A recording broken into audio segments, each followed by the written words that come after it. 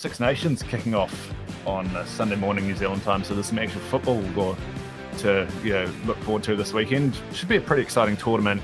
France, no surprises, two dollar fifty favourites to win the thing, and then you got England and Ireland sharing the second line of betting at three seventy five. Uh, England going to be without Owen Farrell for the whole tournament, which is a big loss for them. All right, no Tuilagi this weekend either. Mm, so, oh yeah, we, will get to these this week. All right, they're missing a missing a bunch of guys this week. But mm. any of you guys being against France in the outright market? Yes. Okay. Well, they're France, um, so you can. Uh, and I like Ireland. Anyone. I like Ireland. Uh-huh. Uh, I, I love the look of the squad. Uh, uh, Farrell will be there for them. Um, mm. I just they well they've showed against the All Blacks. Um, they are a very very good side, um, and I think their three home games are again like well they got uh, Wales, Scotland, and Italy. So those are almost hmm. I'm not going to say gimmies, but there's points on the board already. They don't they have, have, to, pick go to Paris and London. Correct. They only have to pick one win up from there, I think, to win the uh, Six Nations. Um, so I think once again get the runs on the board, um, and I think they will. I think you take Ireland this week, and you take the minus as well. I think they'll be way, way too good. Okay, yeah. I just really like the look. I really do like the look of the Irish. Mm. Yeah, no, I, it'll be interesting. But uh, for me, I uh, I don't about you, Richard. Are you Team France or Team Ireland? I Team Ireland as well. Okay. Yeah, I'd be happy to take. Um, so what are they? Three seventy five.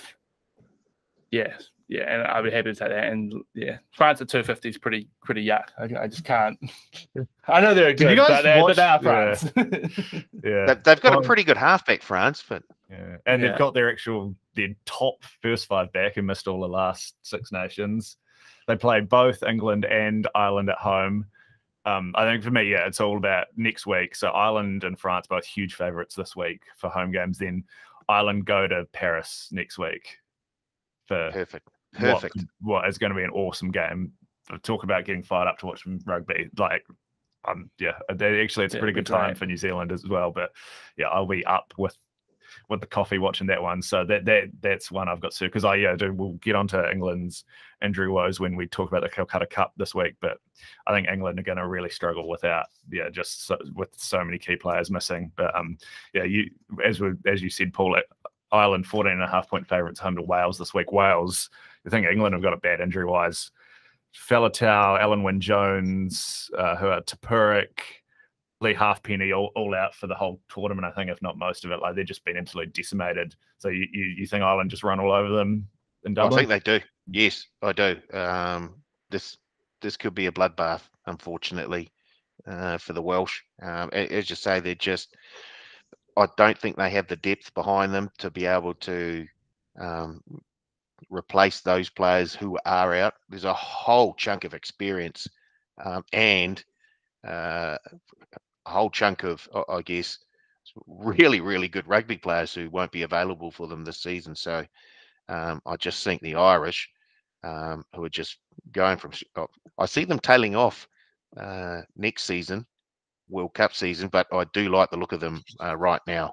Um, and I, I, yeah, as you say, week two where they head to Paris to take on the French, um, that'll be a, be a huge game. If they can pick that up, you might as well just hand them the trophy.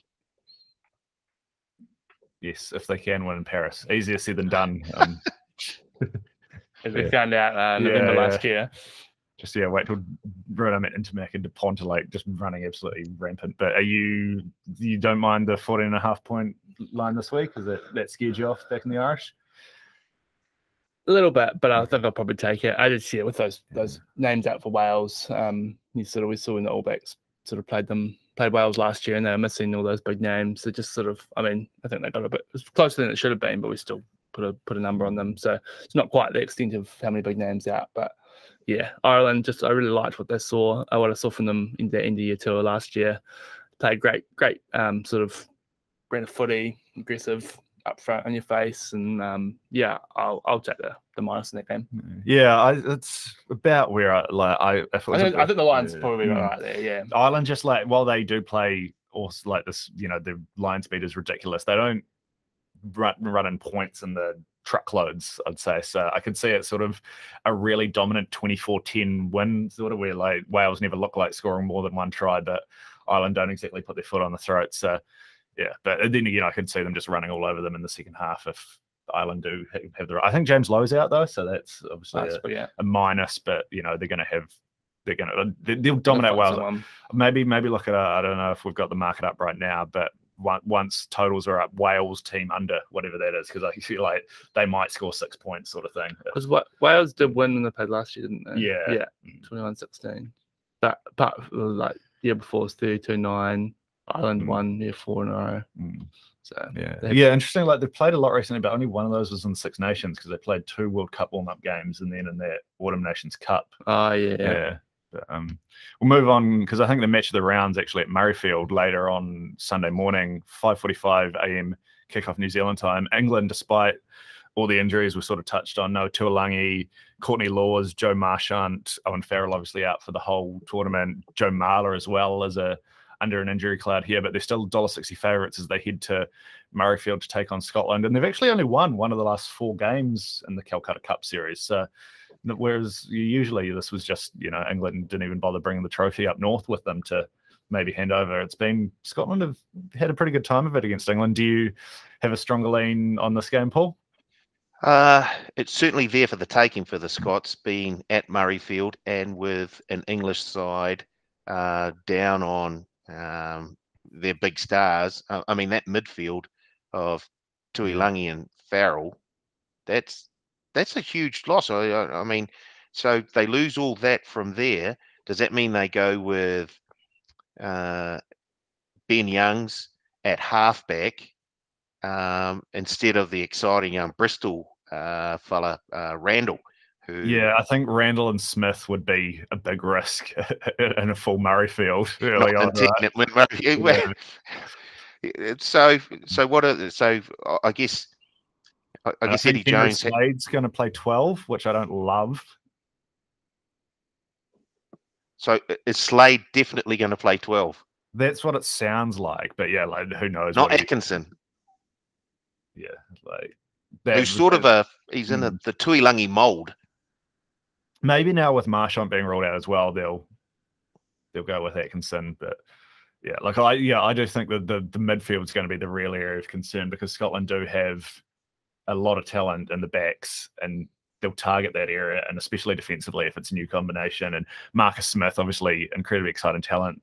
You know, he's not Ardie Savea defensively in the 10 channel there. So he's another like it gives you gives you a pretty decent area to to uh, target there if you are Scotland.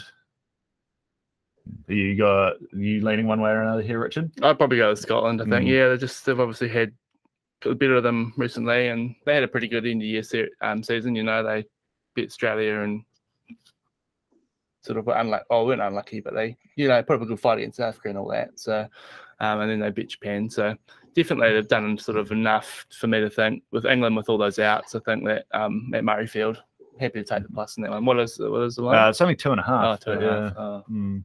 Yeah, no, but I'll back that. I think that they'll um with England with those outs, I think it'll just be a bit much for them. Mm. And uh, never an easy task. Mind you, I could see them winning by 20. So, you taking the underdogs as well, Paul? Yeah, I am. Um, I'm taking them uh, plus the points. I, I think uh, them getting uh, what is it, two and a half points at home. Uh, I'm very, very happy to jump on that. Uh, I can see them coming away with the victory, but I just like that little bit of uh, insurance as well. So Scotland plus two and a half at a dollar ninety-two, I do like. Right. Yeah, I'm. I might just go the other way. I think here. Don't have a strong line, but I must think it might be a good thing. Not like obviously you don't want to have guys injured, but just to have Marcus Smith and Freddie Steward are two of the most exciting young talents in world football. Could just have it like almost being forced to get like give them a bit extra. Could go one by the um, other. Yeah. Yeah. Uh, extra of a role early on, whereas like they might have played it a bit more conservatively and just played the usual English game where you kick for the corners.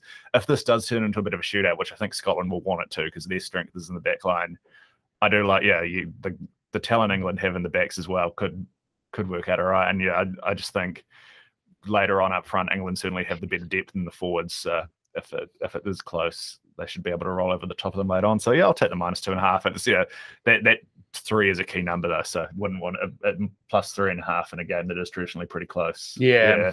So yeah, I'll, I'll take minus two and a half, but yeah, um, we won't go into it too in depth because it's Italy and they don't play competitive games. But my bet of the week is just take France minus 35 and a half in the last game because Italy, we, you think the Waratahs are bad defensively, watch Italy play.